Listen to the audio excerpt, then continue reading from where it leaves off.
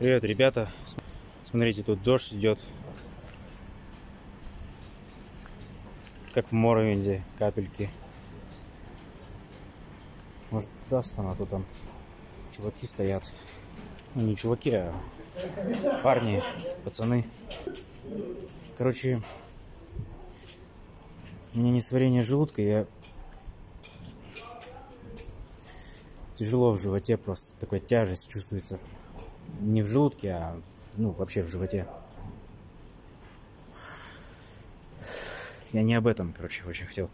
Короче, э, э, ты постоянно сосредоточен. Работа происходит так, а вот они ушли. Сейчас пойду туда курить. Дождь постоянно идет. Сейчас шел невероятно сильный ливень, невероятно аномальный ливень, который даже на, на телефоны снимали девчонки. А, вот здесь курилка даже есть. Смотри, курилка есть. Впервые вижу курилку. Даже курилка есть, прикинь. Короче, невероятная сосредоточенность. Это самое первое, что я чувствую. Сосредоточенность. И так проходит время.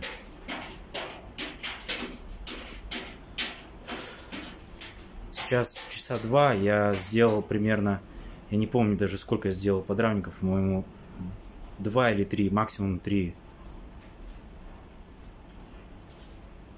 Короче, там картина, картина какого-нибудь великого художника, например. Она на холсте напечатана с отзеркаливанием по, по краям. Ты ее должен... Э, там, короче, есть бумага, где написано название, э, размер, э, сколько на сколько сантиметров, имя, фамилия художника – и тире название картины. И ты должен найти среди множества свертков эту картину. Вот, вот в чем еще проблема. Но с другой стороны, то, что я художник, это положительно, конечно. Но я не представляю, как, как, как человек, который не разбирается в картинах, может там находить. Я даже один раз спрашивал, уточнял, это действительно картина Квартира, комната в Нью-Йорке называлась. Так неловко было обращаться к девушке за этим. Ну, короче.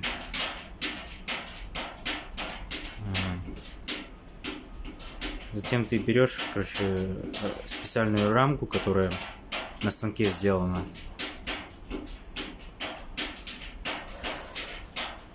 И, на... и там кропотливая работа.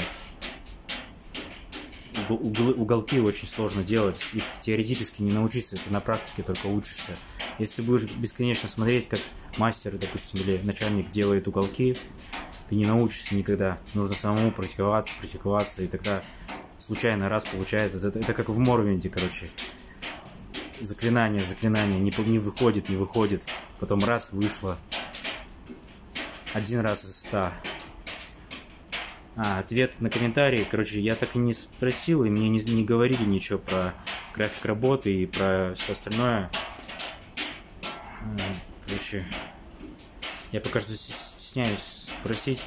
Я пока что сосредоточен делаю эти рамки, хотя говорили, что первый день я буду вообще просто смотреть теорию, буду просто смотреть в теории.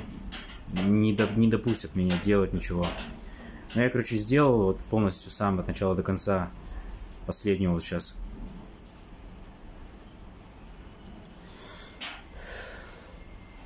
Картину. Квартира в Нью-Йорке, комната в Нью-Йорке называется.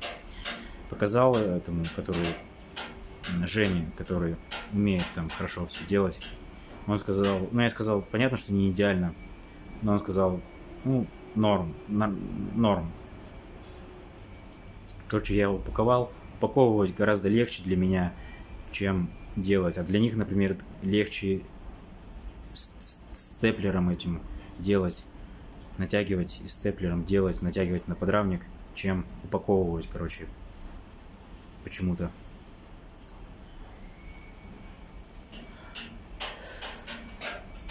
Я, короче, успел обжечься, а клей...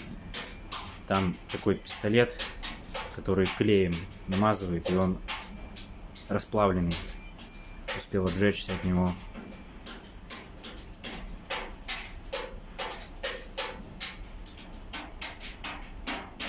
Короче, столько нюансов нужно учитывать. Я, я уже чувствую, что я начинаю тормозить просто. Просто тормозить. Заторможенность такая. Я выпил одну кружечку кофе. Ну, без молока, там просто кофе обычное. Чер, черное кофе такое. Но все равно не помогает. Ну, помогло немного, но все равно я уже к, к 12 часам, к, к 2 часам чувствую максимальную заторможенность такую, что я уже спутанное сознание такое. Мне нужно больше отдыхать, но как бы отдыхать это как-то подумать, что я ленивый.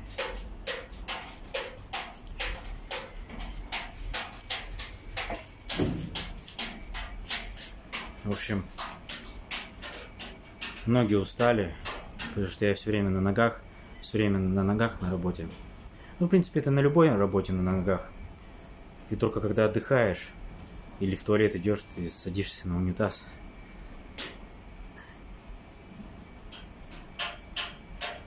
Спасибо за добрые комментарии, Йося. А мне звонили девчонки с э, фанатки с Самары. Я просто занят. Я не могу сейчас отвечать на звонки. Я очень занят. Мне очень тяжело дается эта работа. Я практикуюсь то есть я, я не то, что я практикуюсь прямо, сам делаю маленькие рамки. Ну, как маленькие, не такие уж и не маленькие. Первая была большая, а дальше две маленькие. Короче, короче, можно сказать, две я сделал, или три. Написали мне э, WhatsApp э, с зоомагазина, что когда вы готовы выйти на стажировку. То есть, когда уже готовы выйти на стажировку, мне нужно ответить им, но я не знаю, как мне согласовать это с начальником, чтобы здесь стажировку стажироваться и там постажироваться, проверить, где лучше. Вот, я не знаю, как это сделать. Ну, если никто из вас не посоветует, как это сделать, то я просто расскажу, как есть, что но это как-то стрёмно будет звучать, что я хочу попробовать в зоомагазине постажироваться.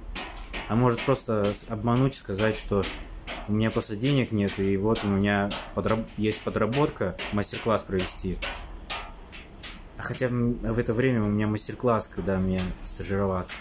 Короче, мне у меня и мастер-класс, и стажировка намечается в зоомагазине 4 лапы. Причем там она оплачиваемая с 800 рублей.